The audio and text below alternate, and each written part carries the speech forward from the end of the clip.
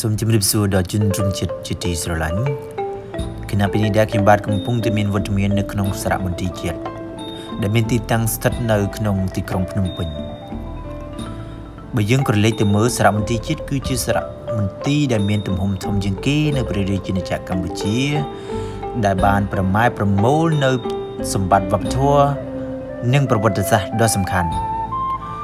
ហើយសារមន្ទីរជាតិនេះទៀតសោតគឺបានរក្សាទុកនៅរូបសំណាក និងវត្ថុតាងប្រវត្តិសាស្ត្រកម្ពុជា មានប្រមាណចំនួនជាង14000ចាប់តាំងពីសម័យបុរេប្រវត្តិសម័យអង្គរនិងសម័យក្រោយៗមកទៀតគណៈពីនេះដែរខ្ញុំចង់ចែករំលែកបងប្អូន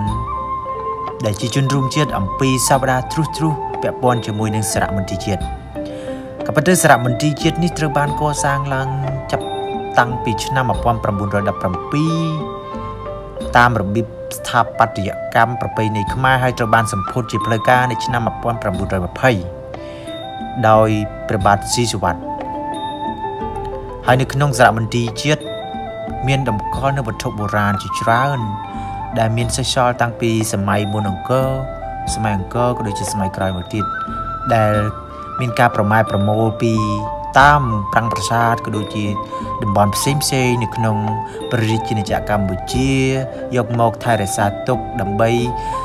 បង្ហាញទៅដល់បងប្អូនដែលជាជនរួមជាតិក៏ដូចជាពិភពលោកឲ្យបានដឹង